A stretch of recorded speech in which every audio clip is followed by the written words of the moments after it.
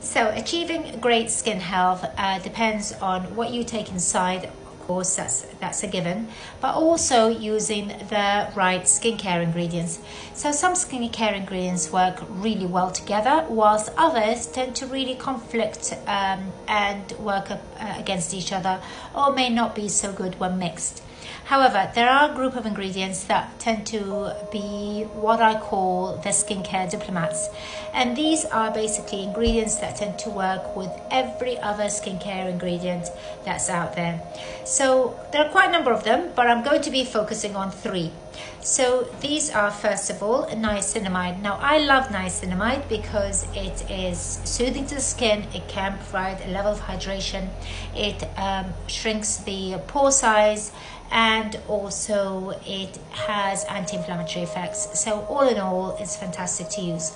The second one is the uh, well actually i'm going to put them under a group of um, ingredients which are the humectants. And these are the ones that tend to hydrate and moisturize your skin.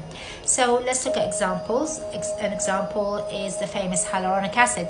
And this is a fantastic water retaining molecule that can hold up to 1000 its weight in water provide providing intense hydration to the skin.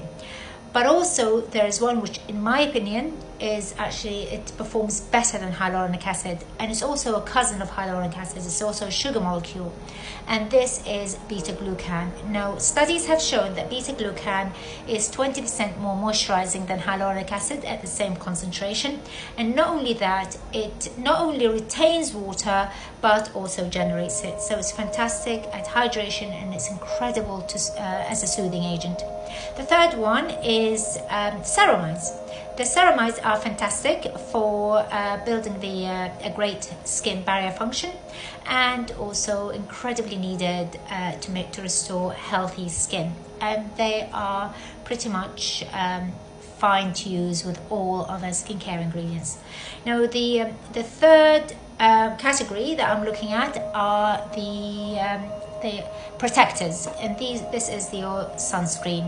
So we all know that protecting against sun damage of the UVA and UVB means that we are getting less fine lines and wrinkles less texture less pigmentation less, less laxity as the collagen is broken down less and the elastin as well is degraded less and most of all, protection against skin cancer. And sunscreen works with pretty much all other skincare. In fact, it's very much needed.